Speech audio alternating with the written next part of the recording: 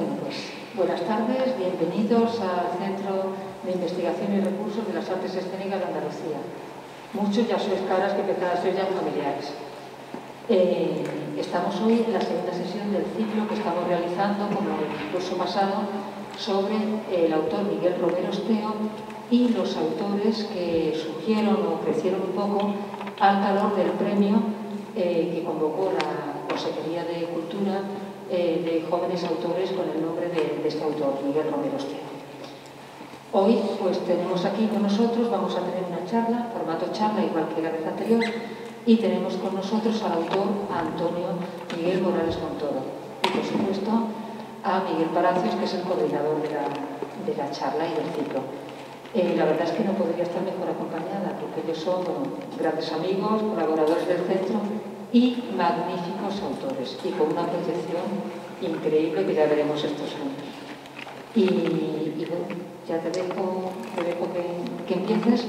Vamos a ver, eh, primero mm, Miguel hará unas preguntas, eh, Antonio contestará y después pasaremos también al turno de, de preguntas. Levantáis las manos, os decimos que sí, os desplazáis, venís, sin tocar el micro, preguntáis y os a sentar para que intentemos mantener pues, la mayor asepsia posible. Y nada, creo que vamos a pasar un buen rato y nada. Bueno, pues buenas tardes a todos, muchas gracias a todas, muchas gracias por, haber venido. Eh, lo primero también dar, recordaros que eh, hacemos estas charlas porque eh, hay una serie de instituciones que están detrás, que nos están apoyando. La primera es esta casa, el FIRAE, que desde siempre nos ha abierto sus puertas para organizar este, este tipo de, actividades. Eh, luego la, de la mayoría de vosotros, la Escuela Superior de Arte Dramático, que también la apoya eh, desde su nacimiento el año pasado. Eh, también la Academia de las Artes Escénicas de España, que está ahí siempre ¿no? a, la escucha ¿no? para, para, para, atendernos. Y por último, la Asociación Miguel Romero Esteo, que desde este año, este año se ha sumado a esta iniciativa eh, y también pues, pues está aportando muchísimo. Eh, bueno, hoy tenemos con nosotros a Antonio Miguel Morales Montoro, eh, un autor que nació en el 68 en Palma de Mallorca, pero que lleva afincado aquí en la, en la provincia de Sevilla más de 20 años. No, más de 20 años, no, desde el 68. O sea que más de 20 años, pero que soy yo para 52. Para 52. Eh, bueno, trabaja como profesor de, literatura, de lengua y literatura en Morón de la Frontera y, es un autor bueno, reconocido por, eh, por, su trayectoria. A mí me interesa muchísimo, sobre todo la tetralogía de la frontera, eh, una, una, serie de obras que tiene en la que digamos, el centro es nuestra, nuestra memoria histórica. Eh, entre esas obras pues contamos eh, la memoria histórica y la, y la, crítica y la denuncia a situaciones eh, de personas oprimidas precisamente en el, digamos, la que la frontera tiene una, una importancia mayor. ¿no? Entre ellas pues podéis leer La Ciénaga, podéis leer La Milonga de los Días Azules, podéis leer, perdón, la, la Milonga del Destierro de los Días Azules, en la que el protagonista es Antonio Machado. Eh, podéis leer La Epifanía de la Marabunta y también El Mandala. ¿De acuerdo? Son todas obras muy comprometidas, obras muy distintas entre sí. Eh, yo querría empezar por ahí, Antonio, sin más, sin más dilación. Eh, tú trabajas en, por ejemplo, en esta primera sobre la figura de Antonio Machado, la que es bastante distinta, ¿no? porque no se precisa, no hay ningún personaje reconocible, más bien eh, todo lo contrario, ¿no? Hay eh, roles, ¿no? Personajes que aparecen por allí que son eh, prácticamente eh, una especie de siluetas, ¿no? De alguna manera, ¿no? que contienen más funciones, ¿no? Que, que, psicologías complejas, pero que sin embargo todos coinciden en, en, de alguna manera presentar, formar parte de una situación en la que hay un gran abuso, en la que hay una gran opresión contra la persona que huye, contra la persona que trata de cruzar esa frontera para buscar una vida mejor y que al final pues se encuentra con todo lo contrario, ¿no? que alguien quiere aprovecharse de ello o simplemente eliminarlo. ¿no? Eh, ¿De dónde surge esta necesidad de escribir este tipo de obras? Bueno, mm, la necesidad de escribirla mm, nace de la reflexión intensa que yo creo eh, que urge en estos días de resituar al ciudadano y de repensar el concepto de ciudadanía en el siglo XXI. Eh, la Ciénaga es un drama social que reflexiona sobre el concepto de ciudadanía. Eh, y como tú bien dices, cuando la escribí, yo necesitaba, necesitaba mm, escribir a través del símbolo, porque la realidad que nos asociaba cada día desde nuestra cercanía geográfica con, el drama, eh, con el estrecho, era tal que mm, busqué un distanciamiento a través del símbolo, un, distanciamiento casi brechtiano, como tú bien dices, los personajes eh, estaban, estaban condicionados incluso por su nombre, ¿no? Juan Patria, María Selva, Migra, que es un policía de fronteras, ¿no? Eh, porque en el transcurso de la escritura de la obra me di cuenta de que el drama no solo nos asolaba en nuestro entorno geográfico, bueno, yo ya lo sabía, ¿no? Pero me di cuenta de que mi necesidad no era solo escribir de lo que tenía mm, al lado de casa, sino que mm, lo que yo tenía al lado de casa era azaroso, porque yo podía haber nacido en México, y en México migra estaba matando gente también, ¿no? Eh, y esa fue la, necesidad de escritura que comenzó el, engranaje de la tetralogía de la frontera.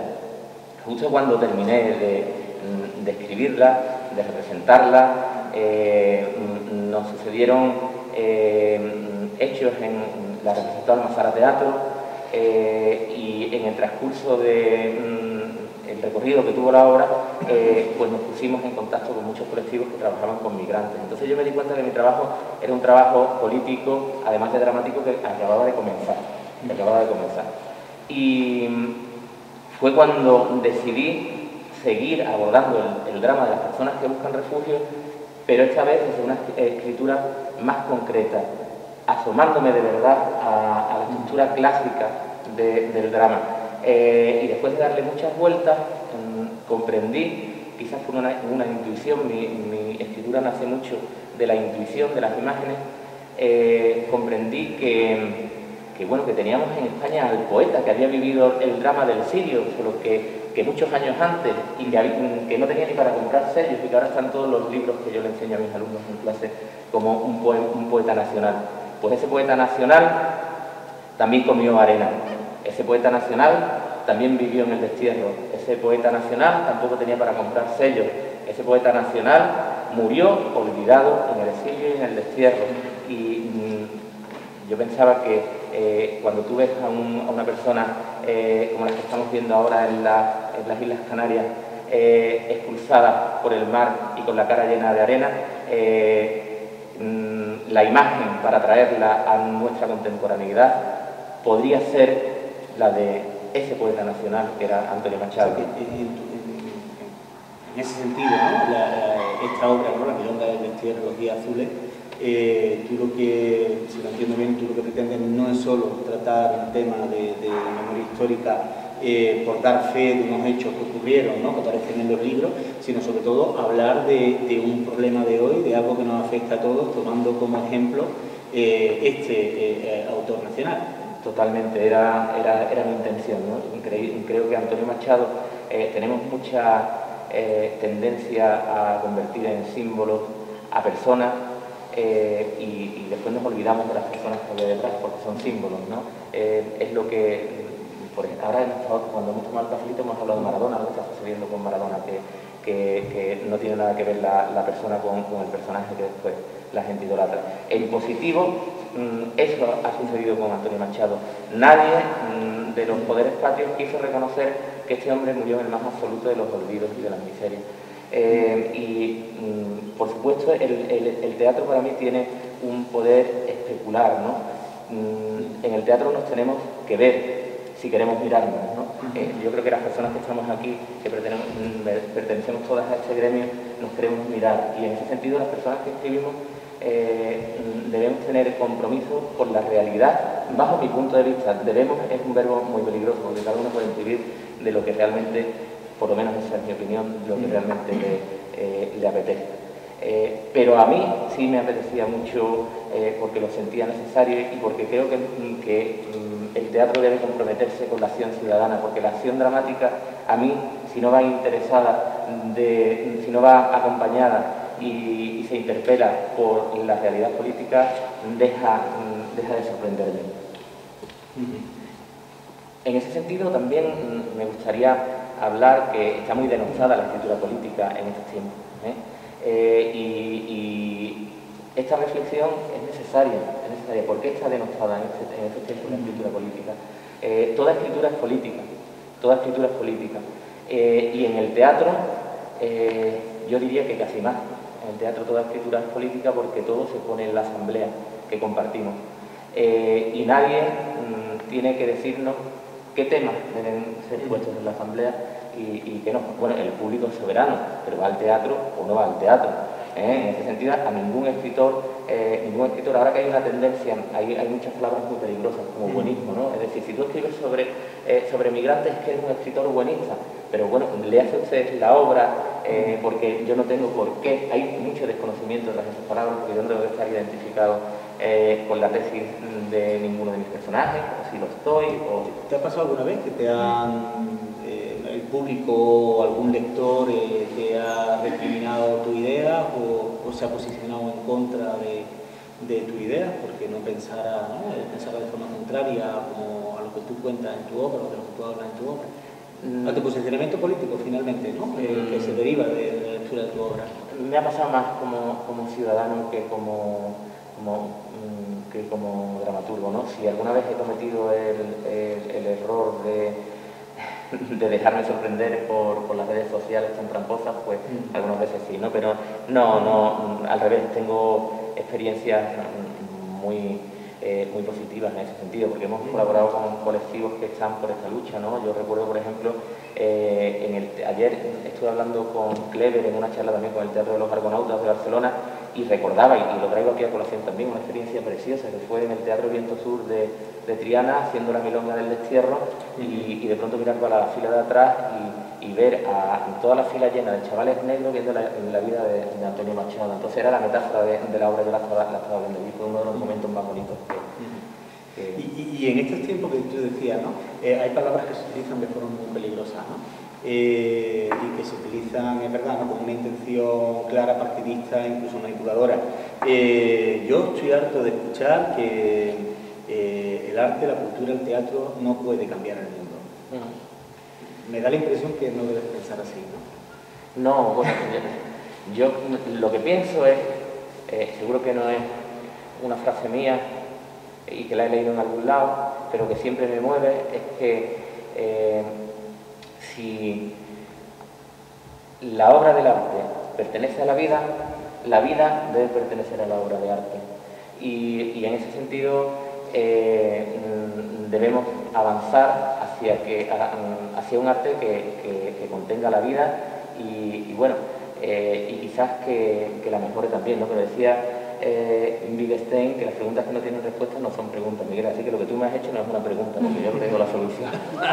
no, hombre, pero yo no te pregunto por la solución, te pregunto por tu solución como autor, ¿no? Como autor. Es decir, tú piensas que haciendo lo que haces puedes tener un impacto en el público, puedes tener un impacto en la sociedad, escribiendo lo que escribes, posicionándote, como tú bien has dicho, políticamente. Mm. Mm, yo pienso que mm, cualquier, eh, cualquier territorio poético cualquier territorio poético, y en ese sentido yo creo mucho en, la patria poética, creo que es la única patria en la que creo, puede transformar el mundo, puede transformar el mundo, porque eh, eh, cualquier activismo a favor de la palabra, hoy que la palabra está tan manoseada, tan mancillada, es necesaria, es más necesario que nunca, y eso sí lo creo. Eh, yo creo que el arte es transformador, pero mm, es transformador de personas, eh, y en ese sentido yo creo que mi respuesta ya está dada. Si estás formador de personas, también te forma el mundo. Yo quiero creerlo, quiero creerlo. Hablando de un poco de tu técnica como autor, hemos mencionado antes la milonga del cierre y de los días azules, ¿no? el protagonista Machado, tienes otra obra con, con un protagonista célebre que es La verdadera identidad de Madame Duval, en la que la protagonista es Victoria Kent. Y mm, eh, a mí ambas me parecen magníficas, pero me gusta más, ya una cuestión de gusto, me gusta más Madame Duval. Eh, eh, la cuestión es, me, interesa mucho que, nos cuentes primero, ¿cuál es el proceso de creación de esta obra? Que supongo que será muy distinto al de la Ciénaga o el de Mandala, más que nada porque no trabaja con personajes reales en esta dos, sino como tú decías, está en otro plano, ¿no? más, más general, digámoslo así. Eh, personajes, ¿no? Eh, pues sí, eso, ¿no? Roles ¿no? que, que incluyen. ¿no? En este caso sí que hay una persona detrás ¿no? que te está condicionando. Entonces, eh, ¿cuál, ¿cuál, es el procedimiento eh, tuyo como autor para llegar a, escribir la obra, ¿no? el proceso, quiero decir, o sea, dónde empieza, cómo sigue, eh, cuando ves que la obra terminada. Y por otro lado te quería preguntar por la fidelidad eh, tuya o no, quiero decir, el grado de fidelidad que mantienes con respecto a los personajes originales y a su biografía. Bueno, con respecto a, la verdadera identidad de Madame Duval, yo creo que es una ficción histórica, ¿no? Y Madame Duval es un personaje histórico, pero que yo intento que su identidad no, no, quede desvelada hasta el tercer acto prácticamente, ¿no? Hasta el tercer acto. Eh, sí que es verdad que hay cierto lastre ético, como tú intuyes en tu pregunta, a la hora de abordar desde la, ficción un personaje que ha existido en la realidad porque tienes un compromiso moral con esa persona. No puedes falsear palabras, ¿no? No, puedes ir en una línea contraria. Y es difícil, es difícil conseguir ese equilibrio. Eh, yo lo, mm, creo que lo conseguí. Eh, intentando rodearla siempre de personajes que siempre existieron en la realidad, porque en la obra hay personajes que no existieron, personajes que son ficción. Siempre en las escenas que ella aparece está rodeada de personas con las que ella convivió, de su amante, de de sus amigas, eh, está en el apartamento de la Gestapo, que está, eh, el, apartamento de París estaba asediado por la Gestapo y por la policía de Franco, y, que está suficientemente documentado todo lo que escribo porque ella eh, escribió un, libro pues, que es casi un diario de esos días. Mm, y, bueno, creo que lo conseguí por ahí, pero sí mantuve siempre eh, ese pensamiento en mi cabeza que no podía traicionar, eh, traicionar a, Victoria Kent, que es el alter ego, digamos que es la persona que tomó el apodo Madame Duval también me gusta, cuando hablo de mis obras, me, gusta contar anécdotas, ¿no? anécdotas que me han sucedido y creo que, eh, que merece la pena contar una que me sucedió con, la verdadera identidad de Madame Duval, que por cierto se va a estrenar, la seleccionó Factoría Checaray, se va a estrenar, se tenía que haber estrenado ya, pero bueno, se pospuso para el día 21 de junio, se estrena en Factoría Checaray. Eh, con esto me pasó que un día yo venía a recoger a mi hijo aquí a, Sevilla y en la obra hay un, un policía de Franco, un acosador, violador, torturador, Pedro Urraca, que existió en la realidad y, que yo hago visible su existencia en, la verdadera identidad. Eh, Pedro Urraca, como, como he dicho, y un día venía yo a recoger a mi hijo aquí a Sevilla y de pronto esto que tienes el móvil en el salpicadero del coche, pero vas conduciendo y no puedes mirarlo, y veo que se enciende, que me acaban de mandar un, un correo, y veo en la cabecera del correo, veo Urraca, Urraca y digo, bueno, a mí se me puso la carne de gallina como tú puedes imaginar, porque yo no tengo, no tenía ningún, ahora ya sí, mm, sí tengo conocido que se llama Urraca, pero antes solo conocía a, a, este hombre de la obra. Y cuando llegué a Sevilla, lo primero que hice fue mm, parar y en la puerta del instituto donde recogía a mi hijo mirar, Urraca, era Loreto Urraca, Loreto Urraca. Y Loreto Urraca es la nieta de Pedro Urraca, la nieta de Pedro Urraca me escribía para pedirme permiso porque estaban, haciendo un congreso en Toulouse, si no recuerdo nada, si no recuerdo mal, sobre la República y me pedía permiso para citar la verdadera identidad de Madame Duval. Pero es que además eh, esta mujer tiene eh, una mm, asociación eh, de apoyo a las víctimas republicanas, mm, a las víctimas de Franco, a las víctimas de Franco, ¿no? en algo que mm, yo imagino como una suerte de eh, ejercicio, eso no me lo ha dicho ella y si me, escucha y no es así, pues me lo podrá decir, pero yo imagino como mm, una suerte de ejercicio de sanación de la memoria, de sanación de la memoria eh, familiar. ¿no? Y a mí me parece que eso tiene otra obra detrás, tiene otra obra detrás. Y me parece que es una historia magnífica. Ella se ha ofrecido a, venir cuando presentemos Madame Duval, se ofreció cuando la íbamos a estrenar, ya no sé ahora sí vendrá para hablar de este tema en, la presentación. Me parece que es una historia preciosa, las historias que rodean las obras que escribimos, ¿no? que muchas veces eh, tan solo por estas historias merece, merece la pena hacerlo. Y a la hora de componerla, ambas obras, tú empezaste entonces por documentarte sobre los personajes mm. y a partir de ahí eh, te planteaste, digamos, la, la, estructura de la obra y demás, ¿o fue algo que fuiste haciendo en paralelo o cómo, cómo fue el tema? Eh, yo incluso escribiendo obras que tienen las dos, creo que son las dos únicas que he escrito con personajes históricos, la Milonga y Manandubal, eh, porque ahora, bueno, primero vamos a de este tema, creo que son las dos únicas que he escrito con personajes históricos, pero aún así mm, a mí me gusta ser fiel a un lema, y es que eh, uno debe ser el primer sorprendido por lo que escribe, uno debe ser el primer sorprendido por lo que escribe, porque si no mm, nos convertimos en, máquinas mm, de escritura y, hay muchos manuales que enseñan a escribir, hay muchos manuales que enseñan a escribir, eh, pero pocos manuales que enseñen a, mm, a, ser fieles a nuestra intuición, a nuestra poética, a nuestro pulso.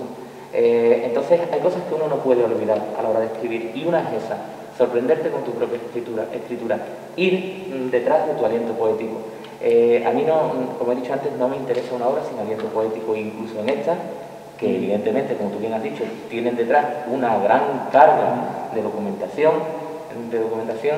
Eh, hubo un momento en que la trama me hizo, me dio la vuelta y, de pronto yo vi que tenía mucho más importancia a mí, para mí, eh, o, por lo menos no mucha más, tampoco me, me gusta eh, decirlo así tan profundamente, pero tenía, cobraba más, más importancia de la que yo había pensado en Nueva York de los 80, la estética del sol de los 80 en Nueva York, que la estética sombría del París de, las estatuas. Y, de pronto la obra me dio un giro hacia la luz que yo no esperaba. Y ahí es cuando yo comencé a, disfrutar mucho más mi escritura, cuando la obra pegó ese giro. Bueno, y con respecto a las otras obras, porque eh, eso también, ahora que has hablado de la oscuridad y de la luz, ¿no? Es verdad que me da lugar, quizás por eso que te decía, me gusta más, no sé por qué, ¿no? Porque hay cosas que no, me gusta analizar, ¿no? Prefiero dejarla ahí. Y probablemente sea por eso, por seguir hacia la luz. Sí, es verdad, porque tu escritura que es bastante oscura, ¿no? que es bastante eh, dura, dura, cruel, eh, esa quizás sea una de las obras más, ¿no? no sé, más esperanzadoras, ¿no? De alguna forma, de alguna forma. Eh, ¿Y por qué no nos habla un poco del proceso de, creación de anatomía de, un vencejo? Porque esta es una obra precisamente, yo creo que está entre las más duras, aunque sí que también haya ¿no? un milagro. También hay esperanza ¿no? Eso es el milagro, eh, un momento eh, mágico de, que, que, que, abre a la esperanza, pero que es verdad que estos ya son los marginados de los marginados. ¿no? Y bueno, en, el, en el proceso de la escritura de la tetralogía de la frontera, la última de la tetralogía era el mandala. El, mandala ya es una obra que funciona como, mm, digamos, como bisagra, se la imagino como una bisagra entre la, mm, el mandala, entre la tetralogía de la frontera y lo que yo después he dado a llamar la trilogía inversa. Eh, soy muy amante de, ponerle mm, nombres a los proyectos y, después algunas veces me arrepiento, ¿no? porque salen con otros nombres. Pero bueno, yo le, llamo la trilogía inversa. ¿Por qué le llamo la trilogía inversa? Pues porque se quedaron en mi camino algunos personajes que fueron eh, ninguneados, silenciados, eh, masacrados, eh, mm, no solo por, digamos, por el régimen del momento, sino además por personas que, mm, profesaban su misma ideología por distintos motivos. ¿no? Uno de ellos era por su, digamos, por su identidad sexual, por su identidad sexual. Entonces, eh, mm, yo creo que el, mm, Anatomía de un vencejo es una reivindicación de la visibilidad eh, de las mujeres. No es una reivindicación, sino mm, digamos que eh, Paloma, la presa republicana y lesbiana, era es un personaje que intenta visibilizar a las mujeres que sufrieron el escarnio, no solo por ser eh, mm, republicanas, eh, como, como es su caso, sino además también por tener una sexualidad determinada. Eh, ese es el caso. Mm, eso es lo que me motivó a centrarme en, la vida de, mm, bueno, en la vida, en la recreación de este personaje que, no tiene, aunque me documenté a través de muchas mujeres, no es ninguna mujer en concreto, ¿no? Eh, obtuviste el segundo premio internacional de dramaturgia invasora por, este, por esta obra.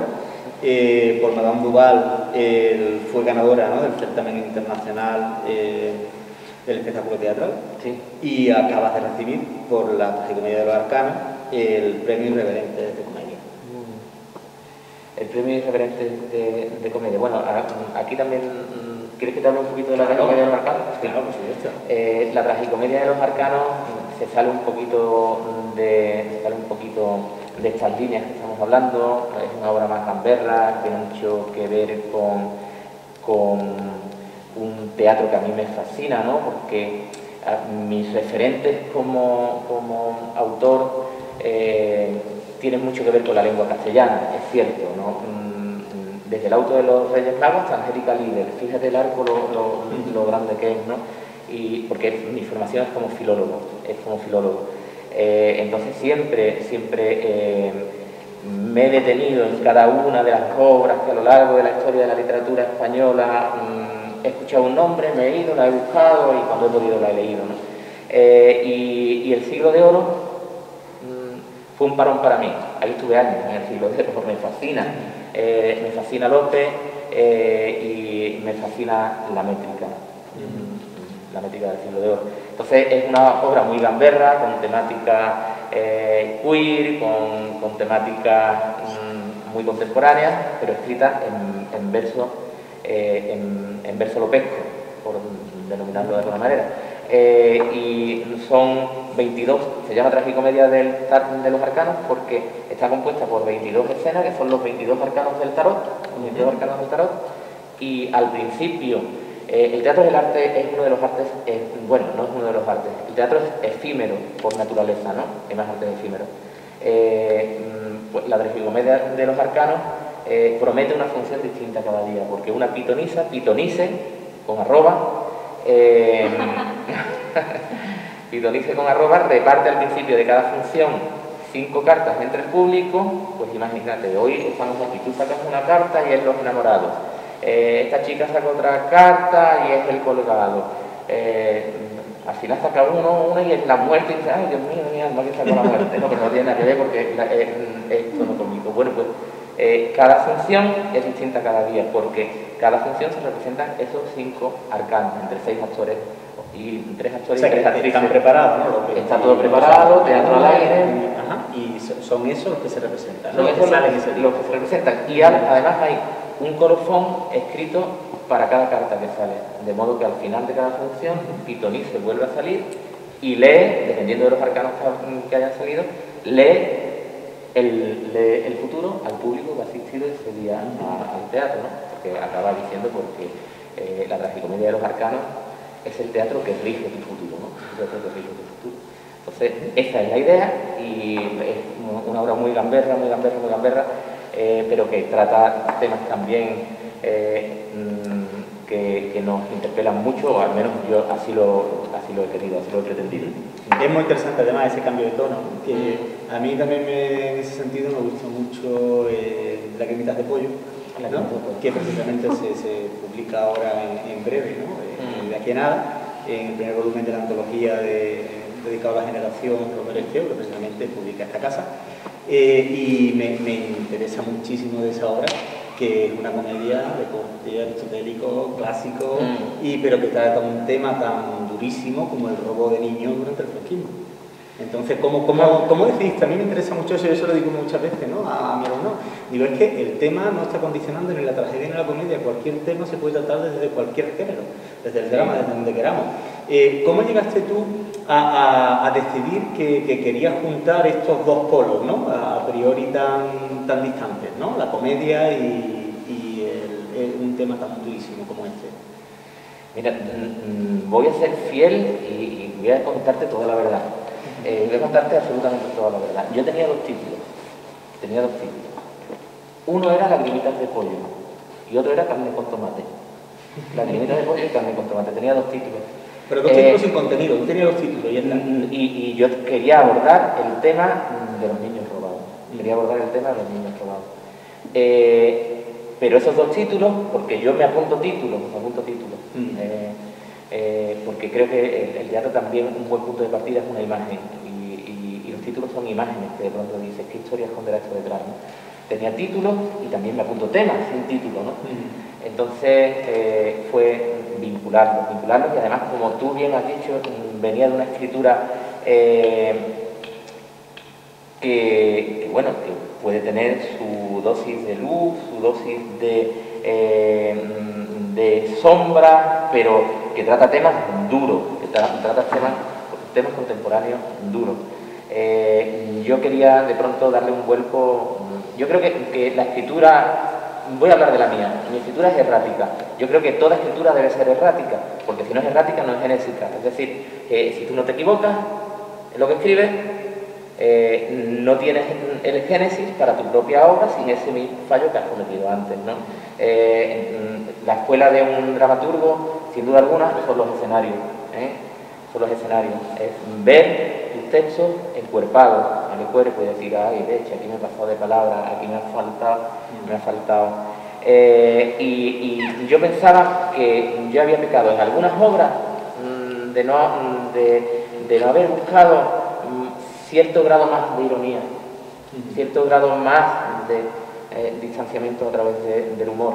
Y a mí hay un humor que sí me interesa mucho, pero no es el humor burdo, el humor que, eh, eh, que, puede, mm, que puede herir a las personas. Me interesa, me interesa humorizar, que es una mezcla que yo hago entre humanizar, entre humor, humano, humor, humorizar. Me interesa humorizar. Y con ese, esa palabra humorizar, eh, yo dije, tengo que ser capaz de, tengo que ser capaz de escribir una, una comedia sobre, sobre, los niños robados. Eh, después, es verdad que, que, estaba ahí Aristóteles al, fondo, eh, yo sabía que una comedia, no es una, en realidad no es una comedia, ¿no? estamos poniendo palabras muy grandes, ¿no? pero sí tiene cierto rastro cómico eh, yo sabía que había un concepto como el de la catarsis, de un niño robado, eh, el de la catarsis, el de la anagnosis, eh, el, reconocimiento de las personas, pero bueno, mm, no quiero adelantar más porque se va a editar dentro de poco y voy a dejar poco la lectura, pero mm, me sustentaba mucho en ese concepto de anagnosis, ¿no? de reconocimiento de las personas, que, tanta alegría da en una obra de teatro cuando, cuando, cuando se produce. ¿no? Bueno, y bueno, nos adelanta un poco algo de tus fuentes, ¿no? El siglo de oro, sobre todo, y hablo del teatro español, o sea, sí, eso, eh, bueno, de la lengua española realmente y de la literatura española, ¿no? Sí. En el caso concreto del teatro, ¿no? Has dicho de, lo, de, los Reyes Magos, Angélica Libre. Eh, mm, ¿Y alguna fuente concreta, algún autor en el que tú te reflejas, al menos en alguna etapa, autor o autores, autoras, en los que tú te, te, te, te reflejes o que creas que tenga una importancia mayor dentro de tu escritura? Sí, bueno, dentro de, no, tiene por qué ser el teatro, quiero decir, en general. Sí, mm, dentro de mi escritura tienen mucha importancia los autores con los que yo me he podido ir a tomar un café, con los que me he podido ir a tomar un café, eh, que hemos tenido la suerte, eh, mm, esta casa ha hecho mucho en ese sentido, de que han sido muchos los autores, ¿eh? desde Miguel Palacio, que lo tengo aquí al lado, y, no lo digo por decir, yo soy un admirador muy grande de mis compañeros de generación, eh, porque para una de las cosas que uno escribe es para no sentirse solo, para sentirse acompañado, para, mm, para reunirse con personas que tienen tus mismas eh, inquietudes, ¿no? Entonces, en ese sentido, yo admiro mucho a mis compañeros de generación, admiro a Carmen Bombero, admiro a Miguel, admiro a Tomás Afán, eh, decir a Gracia Morales, decir a algunos es un peligro porque te dejas a gente fuera, entonces mejor dejar de nombrar, ¿no? Pero admiro mucho a, os admiro mucho a ustedes. después, admiro mucho a, autores de una generación precedente quizás, pero que también eh, han hecho mucho por el teatro andaluz y por el teatro nacional, a Zurro, Zurro, ¿cuánto hemos aprendido con Zurro? No? Yo, eh, mm, cuando viendo, eh, Zurro estuvo en Morón montando otra obra de un dramaturgo del que se habla muy poco para lo que se tiene que hablar, que es Alfonso Jiménez, eh, Mariquilla Remolera, eh, y, yo, a mí me asombraba ver a ese hombre cómo trabajaba, a Alfonso Zurro cómo trabajaba, ¿no? Pues a, Teatro del Astillero, a Raúl Hernández Garrido, a Luis, Miguel Fernández, a, bueno, por supuesto a, a Mayorga, que estaba al principio en el Teatro del Astillero, a Juan Larrondo, a Juan Larrondo, mm, por Dios, cómo, cómo escribe y cómo qué gusto ver, ver las cosas que hace y qué sensibilidad. Eh, son, me gusta poner eh, mi atención en esa autoría contemporánea andaluza y, de todos lados, ¿no? Eh, pero tenemos la suerte que a los andaluces los tenemos más, más cerca. Y después también me, gusta decir, ¿no? y ya que estamos en este foro de estudiantes de, de arte dramático, me gusta decir que hay que ensalzar la labor de las editoriales y de la gente que, de las editoriales, que, eh, mm, que tenemos editoriales como, eh, pues voy a citar a, Invasora, a Irreverente, a Antígona, a, Uñas Rotas, a mm, mm, editoriales que en Andalucía también están haciendo esfuerzos por editarnos, por editar obras como eh, Atopía, como los libros de un Salova, ¿no? que también que son gente eh, que están haciendo mucho por el teatro, que están visibilizando una gran algarabía, una gran algarabía mm, mm, de tonos y, de textos de autores y de autoras contemporáneas. Y creo que debemos comprometernos con, eh, con, esas editoriales y, ser capaces, en la medida de cada uno de sus posibilidades, de darles un poquito de vidilla, y, porque el teatro también se lee y mm, debemos algunos más lo que pueda, pues ir a esas editoriales como referente. Y al hilo un poco de esto, ahora que digamos que hemos contextualizado con, la, con la editorial, eh, ¿qué te, ¿cómo percibe el panorama del teatro eh, en Andalucía, en España, en la actualidad? Yo sé que precisamente Madame Duval no se tenía que haber estrenado ya hace meses, que al final, bueno, no, para enero, ¿no? Era, estaba previsto. ¿no? y que ahora eso en junio. Eh, otros proyectos ¿no? por ahí que se han retrasado, que se han aplazado, que, alguno que se ha caído. Eh, a pesar de eso, ¿cómo, cómo, cómo lo percibes? ¿Cómo, ¿Cómo, no sé, ¿Cuál es tu percepción del momento que estamos viviendo? Bueno, pues bueno, lo, lo estamos viendo, ¿no? Al principio, eh, al principio mm, todos nos quedamos un poquito, que teníamos que aclimatar el cuerpo a, a, lo que nos estaba sucediendo, a todos los proyectos que se nos estaban eh, quedando detrás. Eh, después mm, vino un momento luminoso, por ejemplo, eh, vino un momento luminoso porque, fíjate tú, no quiero frivolizar porque no es un momento de luz, es un momento más de sombra, entre otras cosas porque hay personas que están luchando por su vida, que están muriendo y no se puede frivolizar con eso. Pero estamos hablando de teatro, estamos hablando de teatro y, mm, estábamos hablando de editoriales. Hubo gente en este momento difícil pues se volcó por proyectos colectivos, ¿no? Se volcó por proyectos como Xenofobia, eh, el odio a lo viejo, los días sin abrazos, te proponían que escribieras cosas, mantuvieron un poco el, pulso, el pulso ahí. Entonces yo creo que, el teatro, al ser el arte más viejo del mundo, eh, eh, al ser el arte más, viejo del mundo, ha conocido ya muchas pestes, y ha conocido ya muchas desgracias, y que tiene, yo no sé cuáles son, pero tiene los mecanismos para resistir, tiene los mecanismos para resistir. Eh, vuelvo a decir lo de antes, no, no, mm, eh, yo creo que mm, no, no, sé por dónde va a tirar, no sé qué, qué, temas va a elegir para seguir contando, mm, no sé qué derroteros va a tomar, pero va a seguir adelante, porque eh, sin duda alguna el, el teatro es un territorio de utopías, de utopías eh, date cuenta que se han cambiado los papeles. Ahora, eh, y además el, teatro, como sabemos, es un, territorio que el otro día se lo escuché a Mayorga y a, y, a Conejero, es un territorio donde las distopías, las distopías no han funcionado casi nunca, no nunca, pero casi nunca. Mm. Y ahora mismo las distopías están en el público, pero en el teatro en el teatro los actores van sin mascarilla, es decir, que ahora mismo los que están viendo la distopía son los actores. ¿eh? Se, ha, dado la, vuelta un poquito eh, la tortilla. Yo creo que el, teatro va a seguir adelante porque es el, eh, es el arte mm, para mí, quería decir, por, por antonomasia y porque además tiene mucho de místico, ¿no? Tiene mucho de místico y, vive mucho en, la búsqueda, eh, la búsqueda mm, de, de, lo inefable, en la búsqueda de lo inefable. Y, en esa búsqueda vamos a continuar y a persistir, a persistir porque además los teatreros somos muy cabezotas.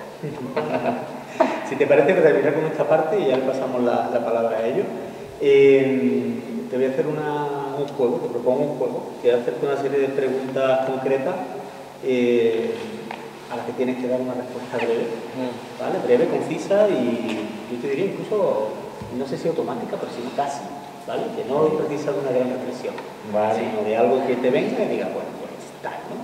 Y tiene que ser ahora, ¿verdad? Ahora mismo. Por ejemplo, eh, ¿cuál de tus obras prefieres? Siempre mm, la, mm, siempre la última, la que está por escribir. Venga, te voy a decir una respuesta un poco demagógica. Y en este caso, entonces, el título. ¿El título de la que, de la que está por escribir?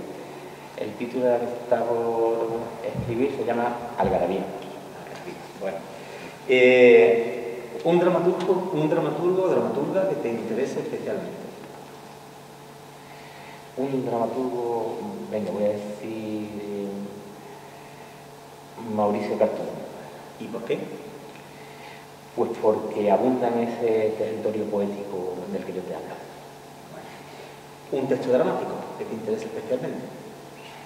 Eh, ¿Clásico, contemporáneo? El que tú quieras. Mm, ¿Puesta en escena, mm, lectura? Texto, bien, sí. Texto. Mm, la geometría del trigo, los últimos que me la geometría del trigo. ¿Y por qué? te podría dar la misma, te podría dar la misma, la misma respuesta porque abunda en, ese territorio poético y porque además transita eh, una temática, la de la identidad, que me. Eh, ¿Una novela o un poema que también te interese especialmente? Eh, poemas, cualquiera del libro Anarcadia mm, de mi amigo Miguel Ángel Feria. lo recomiendo encarecidamente. Em, y me has dicho qué? O una novela, sí. Una novela, expiación, expiación de Ian McEwan o, cualquiera de cualquiera de em, del realismo, bueno, cualquiera no, eh, de sábado, mm, cualquiera de sábado. Bueno. Em, ¿Una película que te, que interesa especialmente? Dogville, del álbum Traviera. O Trier. Creo que tengo por ahí un alumno que te preguntará después sobre eso, por el tema que un gran admirador de la poesía. Eh, un cuadro que te interese especialmente. La biblioteca de Barcelona. ¿Una canción? Cualquiera incluida en el álbum que ha sacado ahora Martirio con, con Chano Domínguez un tema que todavía no hayas tratado en tu obra y sobre el que te gustaría escribir. y de Cristina Rosenville, el último también me parece. bien. Un tema que sobre el que todavía no hayas escrito y sobre el que te gustaría escribir. En la mm, diversidad, mm, mm, vamos a ver cómo lo digo, las personas con diversidad funcional, cognitiva exactamente cognitiva. Tres cosas que te llevarían a una isla desierta.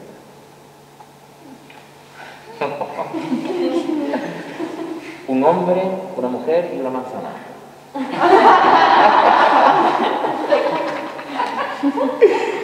vale, y por último, eh, ¿cómo ve Antonio Miguel Morales Montoro el futuro?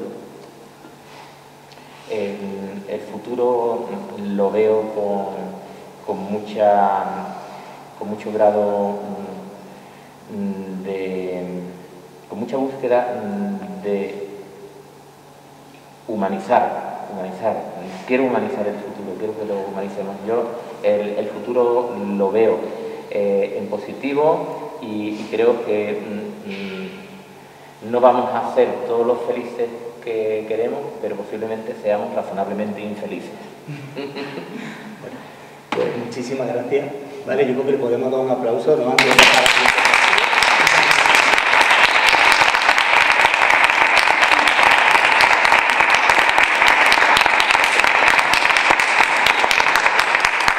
Es vuestro turno. Si tenéis preguntas, María Jesús, todo el protocolo es levantar la mano, ¿no? Y, y venís aquí, ¿no? Y preguntáis. La verdad es que podíamos estar horas, ¿eh? Ya. Pero seguro que tenéis alguna pregunta, algo que... Sobre cualquier cosa que os interese. también. Número de zapatos no... Chema.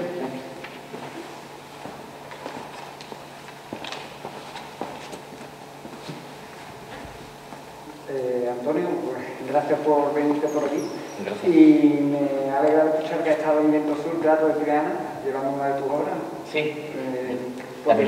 Cuadre- como Cuadrel está trabajando en alguna ocasión y la verdad es que de agradecer que obras así pues lleguen a teatros pequeñitos y, y que tengan su visibilidad. Te quería preguntar sobre, mm, tengo varias preguntas. Eh, habla de biografías de, de autores, autores que te gustan, pero eh, que has consultado de autores para la investiga- investigación sobre Machado y eh, alguna vez has presentado tus proyectos a editoriales más grandes y te la han, aceptado, te la han echado atrás. Bueno, mm, sobre qué mm, bibliografía me, me he leído de Machado, mm, todo lo que había. Es decir, puedo aburrir diciendo títulos, pero todo, absolutamente mm, todo lo que, lo que en ese momento mm, había, iba a las bibliotecas y, mm, no, no dejaba nada, nada, nada, absolutamente nada atrás, ¿no? Porque había, hay que construir precisamente en ese proceso de, de ser fiel al personaje. eh, uno se siente mal si deja atrás un libro en el que cree que, haber- que puede haber una pista que le haga a uno caminar por arenas movedizas, ¿no? Entonces, eh, me lo he leído todo. Con respecto a mm, la segunda pregunta, eh, pues yo que estoy acostumbrado a mm, los textos Vamos a ver cómo, cómo lo explico. Este texto, concretamente el de la milonga, lo envié a un concurso y ganó la tesis y me lo publicaron, ¿sabes? Pero mm, uno en esta profesión eh, se tiene que acostumbrar a escuchar la palabra no muchas veces, muchas, muchas veces.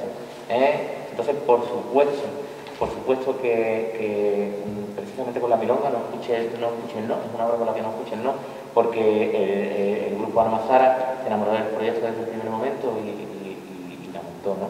Pero después, eh, cuando una obra gana un concurso o cuando una obra es editada, eh, eh, el foco se le pone encima. Los autores también, bueno, yo no los autores, no me gusta hablar así categóricamente.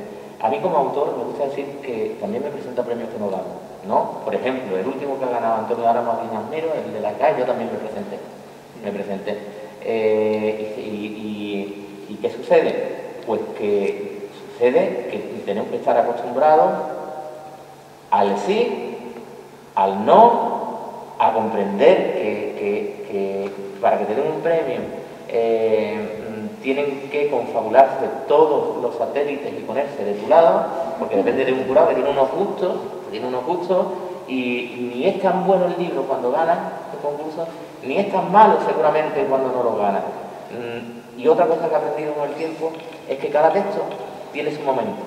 Cada texto tiene su momento, porque ahora los textos que se han presentado a concursos, que no eh, han conseguido, pues tendrán otra vía, porque una compañía te lo pedirá, o lo revisará, ¿verdad, Miguel? Lo revisará y lo presentarás a otro, que posiblemente tampoco ganará, pero mm, bueno, te acostumbras a vivir con ellos, son como sobrinos, no como hijos, a los hijos se los quiere más, se los quiere más. Muchas ¿Vale? gracias. Nada. ¿Alguna pregunta? Sí.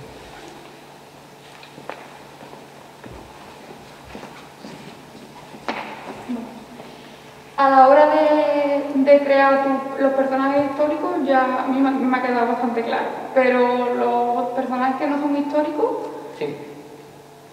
¿qué paso recurre tú a la hora de crear el personaje y sobre todo el lenguaje que va a tener ese personaje o la personalidad que va a tener? Sí. Eh, con respecto al lenguaje, el, el autor dramático eh, tiene que ser un zahorí mm, de las palabras eh, y saber encontrarlas en sus distintos ámbitos, en el metro y en la taberna. Eh, tienes que estar siempre oído avisor, ¿no? Porque después esas palabras, mm, cuando estás dotando a tu personaje de un perfil, de pronto el personaje tiene un imán que las atrae, pero las atrae tan solo si tú, eh, como bate, como bate, porque el, autor dramático y el poeta tienen mucho debate. Eh, la palabra bate tiene mm, mucho que ver con vaticinio, vaticinio, eh, con oráculo, y de pronto tu oído te hace tener un, te hace asociar con una suerte de vaticinio que de pronto te sorprende, te alegra la vida y, dices tú, pero ¿cómo, ¿cómo, es este milagro? ¿Cómo he hecho yo hablar a esta señora con estas palabras? ¿De dónde he sacado estas palabras? Porque tenemos que practicar nuestro oído, tenemos que, poner en práctica nuestro oído en todas nuestras circunstancias y llevar una, bueno, una libretita, yo llevo una libretita, yo llevo, mm, ahora se lleva más el, se lleva mm, el móvil más, ¿no? Cada uno lo que, con lo que se maneje mejor, y apuntar palabras, apuntar conversaciones, o, memorizarlas, ¿no?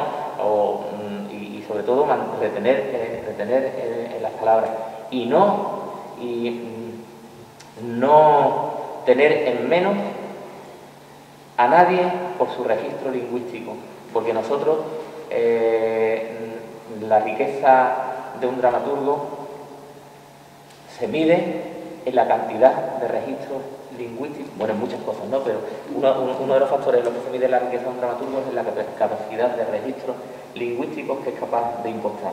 ¿vale? Eh, con respecto a la, creación de los personajes, te digo lo mismo, lo mismo de antes, no, eh, me gusta, mm, me gusta que, me sorprendan. A mí los personajes me gustan que me sorprendan porque eh, mm, si, si, nacen de una estructura ya de un arco dramático, pues ya, ya lo han escrito otras personas, ya lo han escrito otras personas. Eh, y bueno, y el que yo escriba también lo ha escrito seguro antes una, otra persona, porque decía Eugenio Dor que en literatura lo que, eh, lo que no es tradición es plagio. ¿eh? pero a mí me gusta caminar, caminar más sobre la duda que sobre la certeza, porque también un ejercicio de escritura es un ejercicio mm, de crecimiento personal, tiene que convertirse en eso. Eh, ¿Te refieres a que no tienes una, un esquema cerrado del personaje de por dónde va a ir, de cómo va a cambiar, ¿no? todo ese arco, ¿no? todo, todo sino que prefieres dejar ponerlo en situación y ver cómo evoluciona y ver qué te dice, ¿no? Siempre, siempre con matices, ¿no? Eso, dejarlo claro, porque a mí me parece muy interesante que hay que saber lo que es el arco del personaje, hay que saberlo. Quiero decir, eh, uno puede, ahora está muy de moda de construir sonetos, ¿no? Por poner un ejemplo, salir del teatro de construir un soneto, ¿vale? A mí me parece perfecto. De hecho, veo unos sonetos deconstruidos que me parecen maravillosos. Pero el que ha deconstruido el soneto debe saber que el soneto tiene 14 versos, dos cuartetos, dos tercetos, rima consonante, etc. Ahora, muchas veces eh, queremos deconstruir sin conocer la técnica. Yo creo que la técnica es un asidero importante, es un asidero importante. ¿Por qué la técnica es un asidero importante? Porque eh, a la hora de saltártela a la hora de aferrarte a ella, tanto a la hora de saltártela como a la hora de aferrarte a ella, em, produces conexiones mentales que si no tuvieras un esquema fijo no serías capaz de romper. Entonces la técnica te lleva a imágenes que sin tú estaban en ti, porque si no no salen, pero que tú desconocías totalmente, ¿no? Y eso a mí me interesa mucho. Me interesa mucho, por ejemplo, la dramaturgia del sueño, me interesa mucho la dramaturgia de Sanchís Finisterra de escribir con la pistola en la nuca. No, no, no te puedes salir de aquí y aquí tienes que contar tu historia. Y eso te lleva a, a, a conexiones mentales eh, que te sorprenden a ti mismo. Y en esa sorpresa del propio autor creo que están los hallazgos importantes. Gracias. Eh, ¿Hay tiempo para una pregunta más?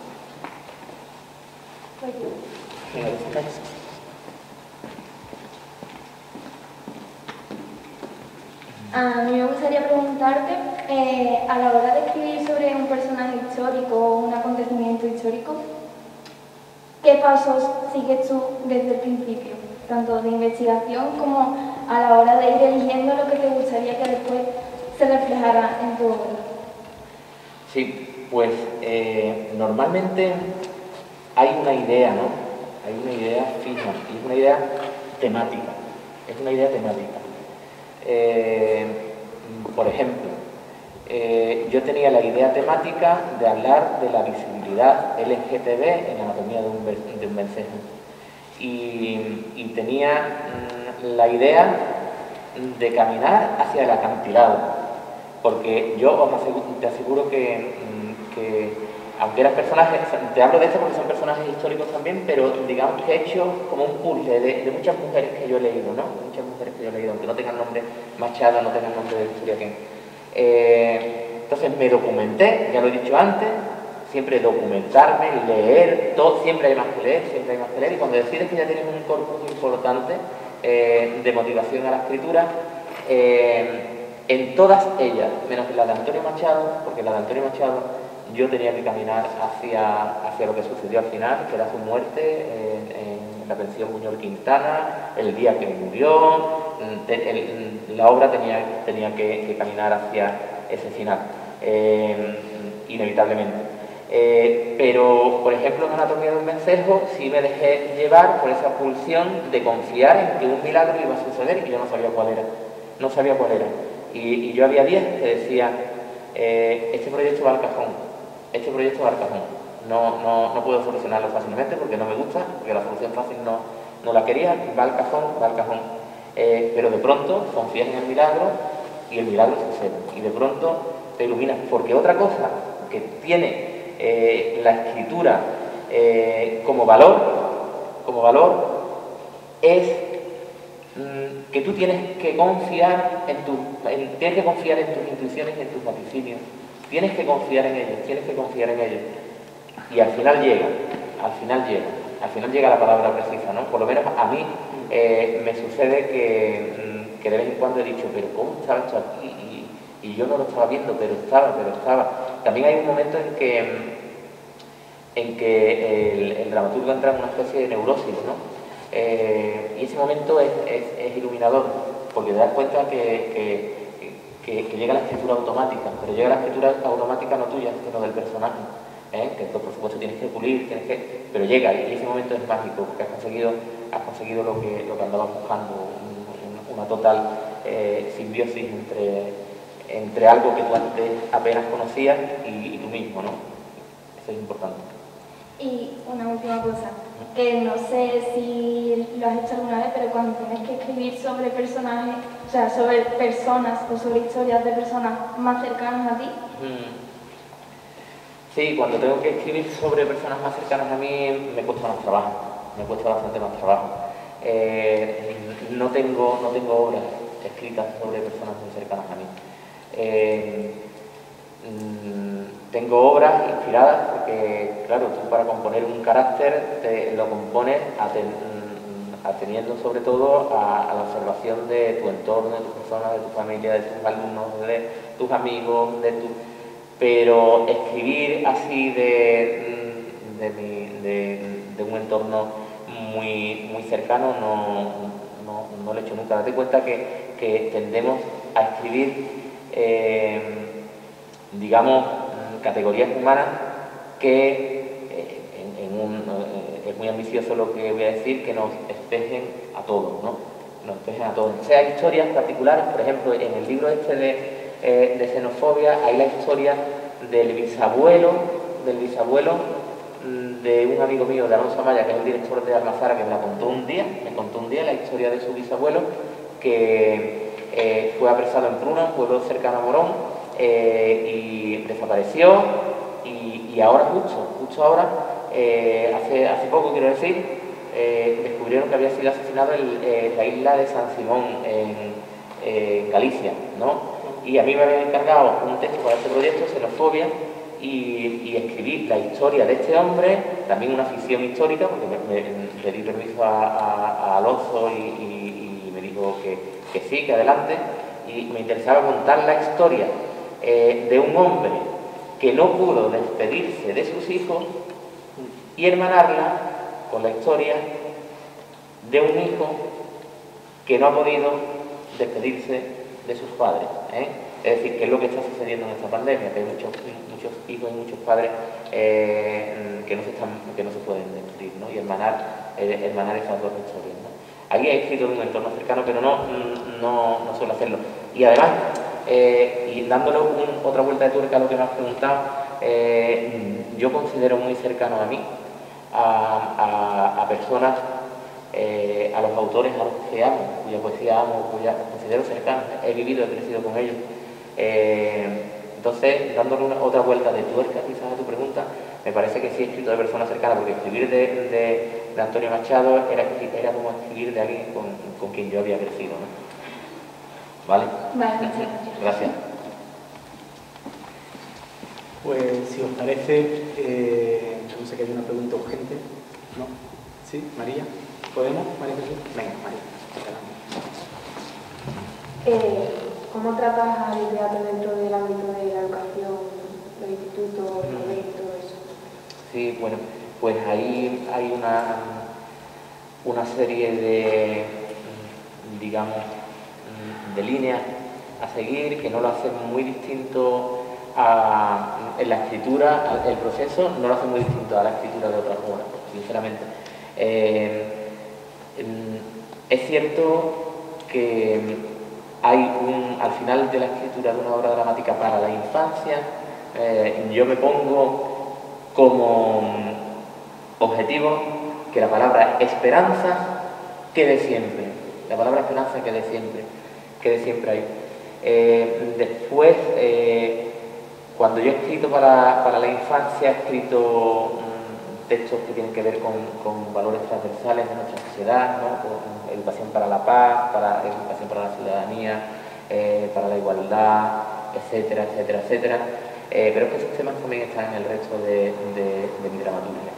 Eh, hay ahora mismo algunos proyectos muy interesantes que os animo a que, a que, a que miréis, sobre todo eh, pues aquí en, este entorno se ha fraguado un, libro, ¿verdad, María Jesús? El de el Teatro para Jóvenes, con ocho autores andaluces, autores y autoras andaluzas, eh, con obras eh, que tratan precisamente estos temas que te estoy diciendo. Después hay una colección de Antígona, El tamaño no importa, de obras de microteatro dirigidos a la, a la juventud, que también... Y yo creo que la línea por la que van esos textos es la línea de los valores transversales en la educación. Y después también, no voy a terminar esto que me acabas de decir, eh, mm, sin reivindicar mm, desde aquí que el teatro sea una asignatura mm, de obligatoria en el currículum tanto de primaria como de secundaria, ¿eh? porque eh, está claro que a través del teatro conseguimos, yo que, que soy docente, yo enseño literatura en un instituto, muchas veces los objetivos de mi área los consigo muchísimo mejor, en menos sesiones, de una manera más divertida, a través del teatro que de cualquier otra manera. Gracias. Ahora sí, eh, cerramos, ¿vale? Nos veremos a mediados del mes que viene, creo que el día 15, confirmaremos de todas maneras, eh, con Rafael Torán, que vendrá a hablarnos sobre Miguel Romero Esteo eh, y nada, despedimos a Antonio dándole las gracias, por supuesto, por esta magnífica charla y le damos otra aplauso, siempre.